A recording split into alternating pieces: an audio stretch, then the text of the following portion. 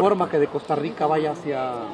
Pues se trata de un ciudadano eh, hondureño y, le asisten una serie de, derechos que tienen que ser respetados también en materia internacional.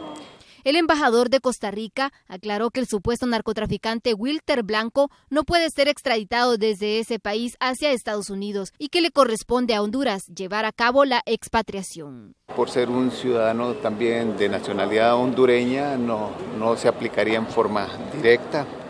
Y como les decía, le, le corresponde ahora a la Cancillería hondureña hacer todos los trámites ante las autoridades costarricenses para la extradición de esta persona.